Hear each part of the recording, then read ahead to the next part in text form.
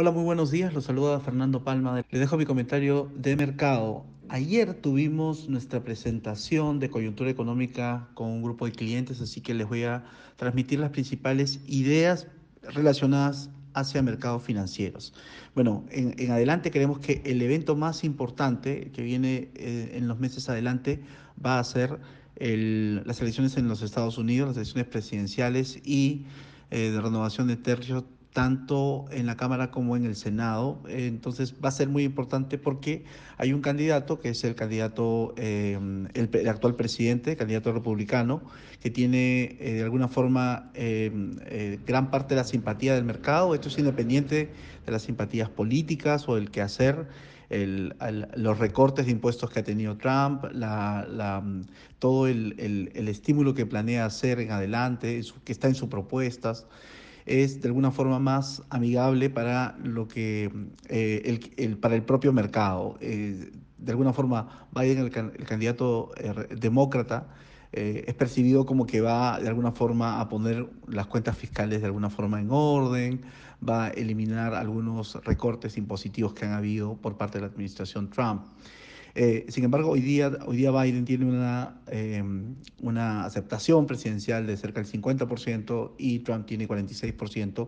Y también va a ser importante en adelante cómo, eh, se, cómo vayan a, afectar esta, esta, esta, elección, la relación que se tiene entre China y Estados Unidos. Ciertamente, aún, aún cuando sea Biden el candidato elegido, las tensiones en, en China van a a reducirse considerablemente, pero igual eh, los Estados Unidos ya tienen una agenda especial contra los chinos y hay muchos temas por arreglar. Entonces, es el evento más importante, creemos, en, en, los próximos, en los próximos meses. Sin embargo, se va a discutir mucho a nivel de mercados, todo el tema de las vacunas, las vacunas que están dando, que están dando la vuelta, también las relaciones entre en la administración Vizcarra y el Congreso, y esto, todo esto va a continuar. Y lo que nosotros estábamos viendo es, y eh, un poco lo que les resumo yo diariamente, es que los activos de riesgo para países G10, para países desarrollados, tanto eh, renta variable en Europa, renta variable en Asia eh, y renta variable en los Estados Unidos están mostrando una recuperación importante. De hecho, en la mayoría de los casos han borrado pérdidas, inclusive están por encima de máximos históricos, lo que estamos viendo en la renta variable americana y esto es un poco descontando el futuro, o descontando el futuro o porque hay un flujo importante que está llegando a los mercados, que es el flujo, es el flujo del segmento retailer, del retailer millennial, ¿no? Eh, que básicamente eh, la bolsa americana está en 25% explicada por un, un, grupo de títulos, ¿no?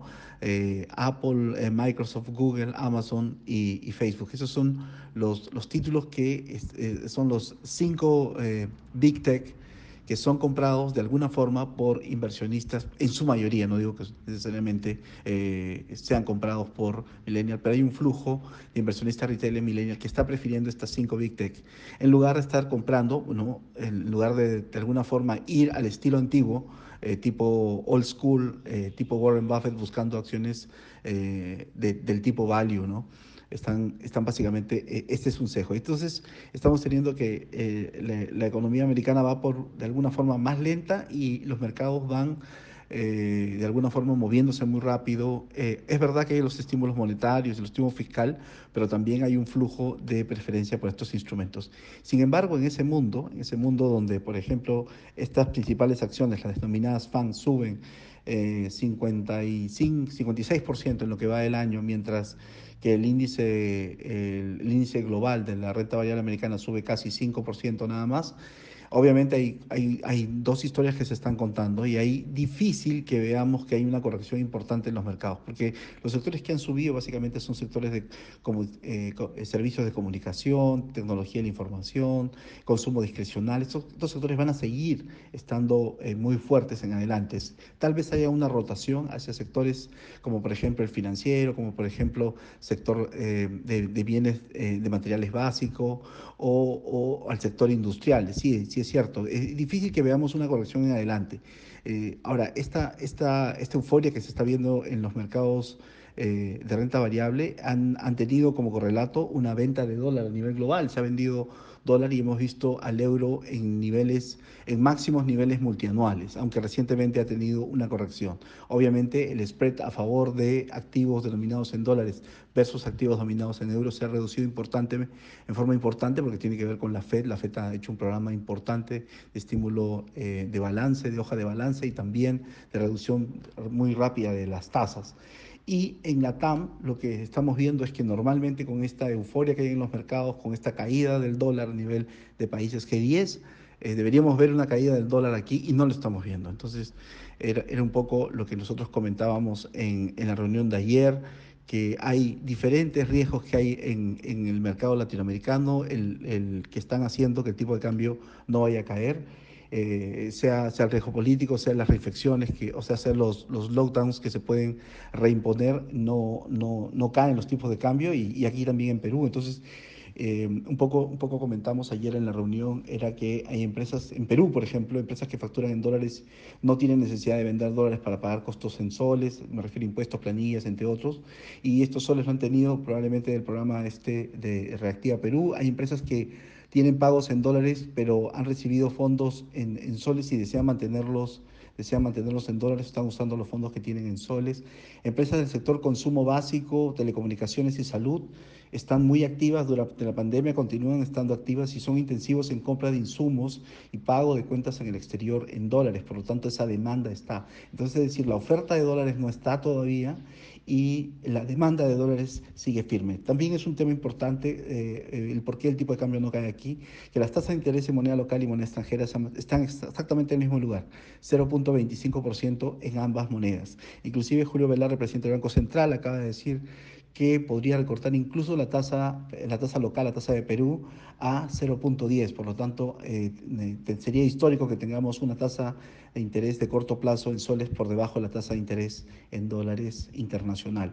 Eh, y obviamente también hay un factor importante que son las intervenciones previas del Banco Central. Cuando hubo el tema de la pandemia y estamos entrando en, esta, en esta recesión que ha habido mundial, eh, el, Banco Central trataba de evitar la subida del tipo de cambio, los, agentes buscaban una, una, moneda de refugio, compraban dólar aquí en Perú y en el mundo, y se pactaron instrumentos, de, instrumentos cambiarios, me refiero a, los swap cambiarios y a los CDRs del Banco Central, que en su momento ayudan a evitar la subida del tipo de cambio, pero cuando vencen, que es lo que ha estado pasando estos, estos meses, porque ya, ya, ya vencen estos instrumentos, son instrumentos de corto plazo, están a tres y seis meses, y lo que presionan es, eh, presionan al alza el tipo de cambio, tienen el efecto contrario. Por lo tanto, el Banco Central sale permanentemente a renovar, puede renovar una cantidad menor y todavía hay un sesgo al alza de el tipo de cambio por, este, por esta razón. Y factores que podrían hacer que el tipo de cambio eh, caiga, por el momento no, no se han visto. Sí hubo un proyecto de ley para disposición del 100% de los fondos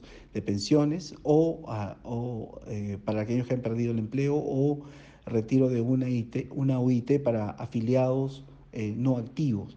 Eh, este proyecto por lo menos está en la Comisión de Economía y por lo menos ah, está, está teniendo eh, su demora, así que eso es considerado por el mercado como todo, todos estos proyectos de ley lo que traen es caída en el tipo de cambio, pero mientras este proyecto esté todavía encarpetado, eso, eso es no conlleva una caída en el tipo de cambio. Y hay unos riesgos idiosincráticos que yo, yo diría que son menos importantes, pero eh, mucha prensa le, le, adjudica mucho, mucha importancia al mercado de cambios. La verdad que hay, un, hay una serie de noticias que vienen por parte de, de, nuevas regulación por parte del Congreso o la, o la, pandemia que está sin control. Sí, son, son factores que, están, que van sumando, pero no necesariamente son los factores que estamos viendo en el mercado. Es, un, es una mezcla de, de, las... ¿Por qué no cae el tipo de cambio en esta parte del mundo? Es porque estamos en un entorno eh, latinoamericano donde los casos se están elevando, donde todavía tenemos eh, programas fiscales que se están eh, ampliando,